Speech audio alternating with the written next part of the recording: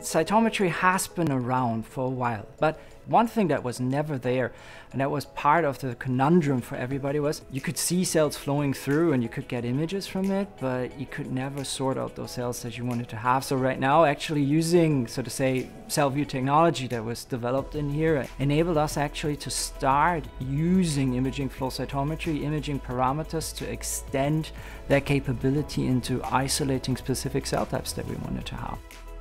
The BD FACSDiscover S8 cell sorter allows researchers to perform high parameter flow cytometry with ease. This is due to the advanced digital signal processing capabilities, optimally designed hardware, and the combination of optimally designed flow cytometry reagents that allow high parameter flow to be performed much easier than ever before. If you think about what our cytometer does, it's already really amazing. We now have the ability to see cells. Before, we would see dots on a plot and guess maybe that's what the cell looks like. Now we can just look at it and we can know, hey, what is the cell that I'm analyzing and be able to sort on it.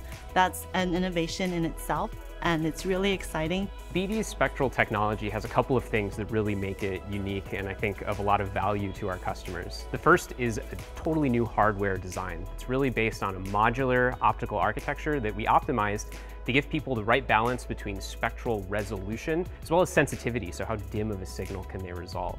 That's combined with a suite of onboard systems that really help calibrate, keep things robust, keep things reliable so that you get the most performance out of the system as possible without having to spend tons and tons of time setting this thing up and sort of becoming an engineer yourself, right? We let you focus on the biology. The exciting part of this technology is that it really puts the cells in the hands of the user immediately. And you go straight from something that you couldn't appreciate at all to something that's bam, right in your face. The BD CellView technology is so fast and, and so quick in generating images that are very easily understandable by electronics that basically all the parameters can be calculated on the fly. And in the end, you can confirm this data by seeing actually the image, which is fantastic.